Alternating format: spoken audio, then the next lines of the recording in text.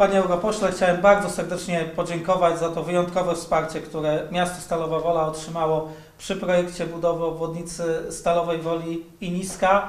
My tutaj doskonale pamiętamy, jak było, jak ten projekt był wielokrotnie zagrożony, a wtedy zawsze e, odważna, skuteczna interwencja ze strony pana posła sprawiła, że dzisiaj Stalowa Wola nisko może inaczej oddychać, jest bezpieczniej, bardziej komfortowo, ale to również droga rozwoju gospodarczego, bo prowadzi do drugiego wielkiego projektu, którego tak e, istotnym patronem jest e, pan europoseł, czyli Via Carpatia. I za to dziękujemy, bo to są dwie drogi, które otwierają nam no- zupełnie nową perspektywę rozwoju gospodarczego.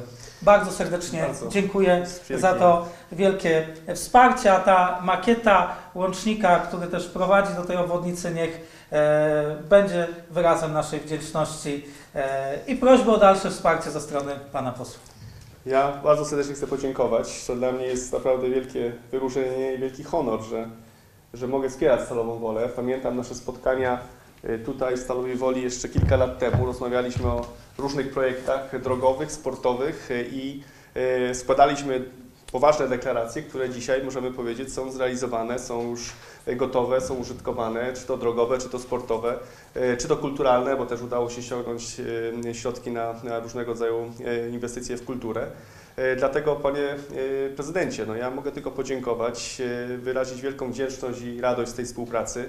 Y, Proszę na mnie liczyć. Y, Absolutnie Stalowa Wola y, jest dla mnie miastem, które od początku, jako poseł do Parlamentu Europejskiego, jeszcze pamiętam swoją kampanię w 2009 roku i pierwsze wiece wyborcze w Domu Kultury, to jest Stalowowolskim, jest mi bardzo bliska sercu. Jestem szczęśliwy, że wspólnie udało nam się tak dużo zrobić. Tak też rozumiem swoją rolę jako posła do Parlamentu Europejskiego.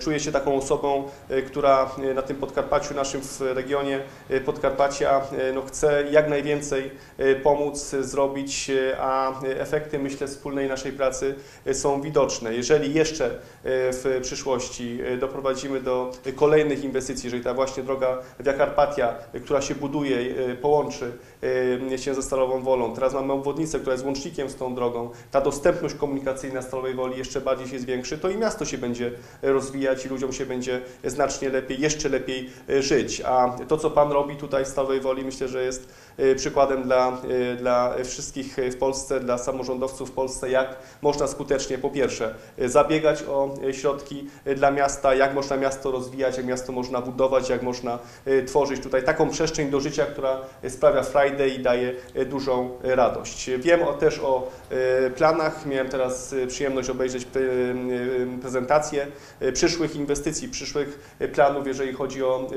y, rozwój Stalowej Woli. Jestem absolutnie gotowy do wsparcia tych y, różnego rodzaju działań i proszę na mnie liczyć. Bardzo dziękuję i jeszcze raz chcę wyrazić swoją wielką frajdę, że, że mogę tutaj u u Państwa być i z Państwem współpracować. My bardzo serdecznie dziękujemy za całe wsparcie. Dzięki. Bardzo dziękuję. Dzięki bardzo.